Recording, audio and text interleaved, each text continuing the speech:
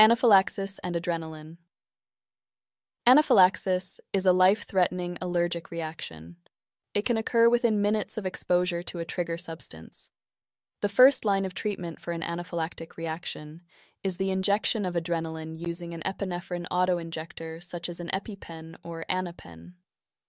How does an adrenaline autoinjector work?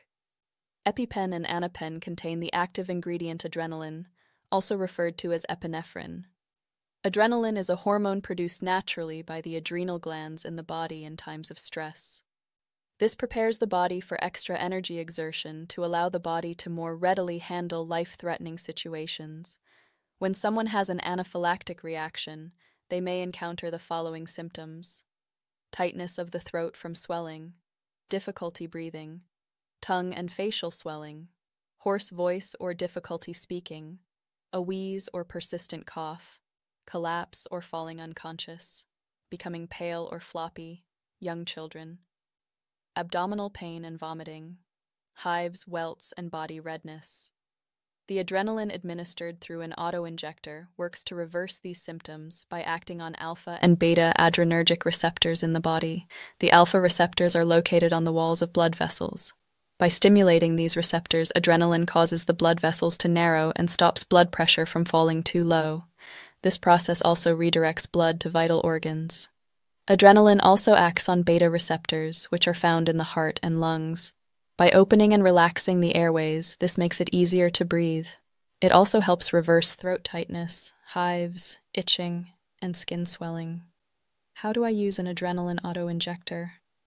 Adrenaline should be administered as soon as possible to a person going into anaphylactic shock. An autoinjector is designed for this, but it's an emergency treatment only. Anyone experiencing anaphylactic symptoms should also seek receive further treatment from a medical professional. An EpiPen or Anapen autoinjector comes pre-filled with epinephrine, which will automatically inject when the device is pushed firmly against skin. The autoinjector should be pushed against the outer mid-thigh, not injected into veins, fingers, toes, hands, or feet.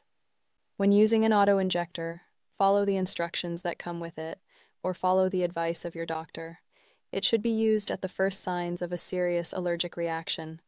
People who are susceptible to anaphylactic reactions should always carry an autoinjector with them so it can be used immediately. First aid for anaphylaxis. If a person's symptoms and signs suggest anaphylaxis, you should follow their anaphylaxis action plan or take the following steps. Lay victim flat. Do not stand or walk. If breathing is difficult, allow to sit. Prevent further exposure to the triggering agent if possible. Administer adrenaline through autoinjector. Child less than 5 years, 0.15 milligrams intramuscular injection. Older than 5 years, 0.3 milligrams intramuscular injection call an ambulance, administer oxygen and an or asthma medication for respiratory symptoms. Further adrenaline should be given if no response after 5 minutes.